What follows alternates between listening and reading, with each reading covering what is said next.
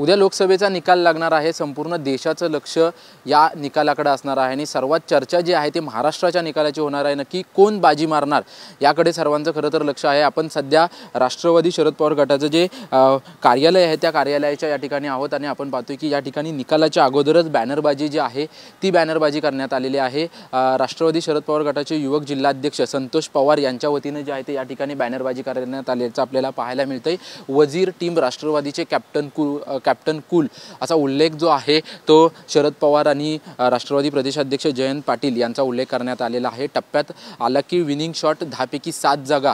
जिंकण्याचा निश्चय देखील या बॅनरवरती उल्लेख असल्याचा आपल्याला पाहायला मिळते राष्ट्रवादी काँग्रेस शरद पवार गटाकडून जे आहे ते दहा जागा लोकसभेमध्ये महाराष्ट्रामध्ये लढलेल्या आहेत आणि त्याच्यापैकी सात जागा निवडून येतील असा विश्वास अनेक न नेत्यांकडून आणि प्रवक्त्यांकडून व्यक्त केला जातो आणि अशा त्या पद्धतीने बॅनर देखील जो आहे तो या ठिकाणी लावण्यात आलेला आहे. आपण पाहतोय की महाराष्ट्राच्या निकालाकडे सर्वांचं लक्ष आहे कारण की कोण नक्की बाजी मारणार याकडे सर्वांचं लक्ष आहे कारण ती दोन पक्ष फुटल्यानंतरची पहिली लोकसभा आहे त्याच्यामुळं कोणाचे किती खासदार येणार याकडे खरं तर सर्वांचं लक्ष आहे. ठिकठिकाणी आपण अनेक खासदार उमेदवार विजयी बॅनर देखील लावलेले आपल्याला पाहायला मिळत होते परंतु राष्ट्रवादी कार्यालयाच्या बाहेर जो आहे तो पक्षाचे नक्की किती खासदार येणार याचा बॅनर जो आहे तो या ठिकाणी लक्ष वेधून घेत आहे.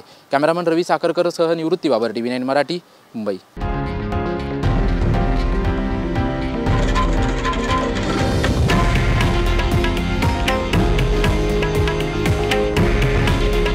हे आहे देशातील नंबर वन न्यूज नेटवर्क. आणि आपण पाहत आहात टी व्ही नाईन मराठी. काळजी तुमची हित महाराष्ट्राचं.